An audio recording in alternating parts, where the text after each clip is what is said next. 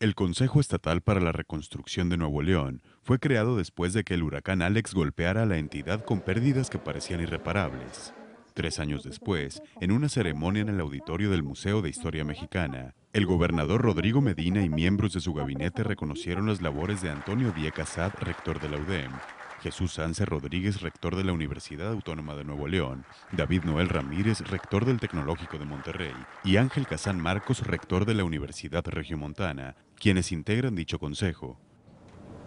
Esa capacidad de no sentirnos derrotados,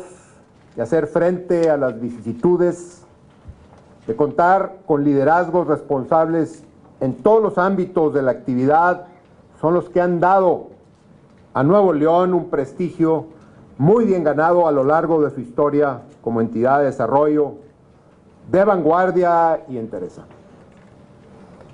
Que este evento tenga lugar en el Museo de Historia Mexicana es particularmente importante. Es la expresión de nuestro firme deseo de que las acciones generadas por el paso de este meteoro no se limiten a reconstruir ni siquiera a mejorar,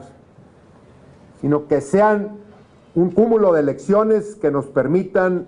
planear mejor. Que siempre veamos a Alex como un capítulo de nuestra historia y que recordemos que de la historia se aprende.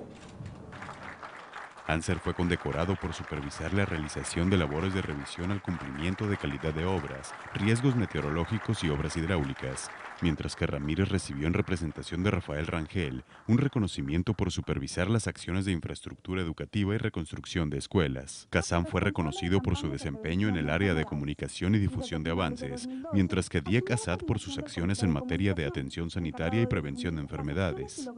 Medina también inauguró en el recinto la Expo Alex, un capítulo de nuestra historia, y extendió un reconocimiento simbólico a la sociedad civil, empresarios, funcionarios y demás colaboradores en el proceso de recuperación del Estado durante tres años, que podrán ser el fundamento de un posible Consejo Estatal de Planeación. Con imágenes de Cristian Córdoba e información de Karen López, elnorte.com.